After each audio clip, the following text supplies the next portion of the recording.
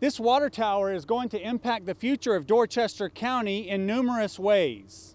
Right now, we have the raising of the Winding Woods tank. It's a part of the larger Lake Marion Regional Water System. The tank is located just off Highway 78 in the Winding Woods Industrial Park. The $4.79 million tank can provide water to 1,600 homes. The Corps of Engineers paid about 75% of the cost, saving the county a lot of money. Inch by inch, you could see the tank being pulled up and into place. It's going to serve the Winding Woods Industrial Park, Pecan Tree Industrial Park across the street.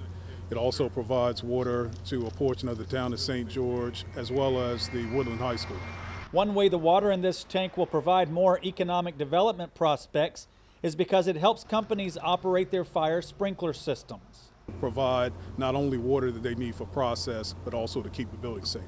The water will also keep residents safe in their homes by allowing many more fire hydrants to be installed. You know, when you're in the midst of a fire, fire hydrants are very, very important. Councilwoman Harriet Holman tells me a fire hydrant may have been able to save her son's life. My fire was three years ago, October the 27th, where I lost my son and I lost all my property.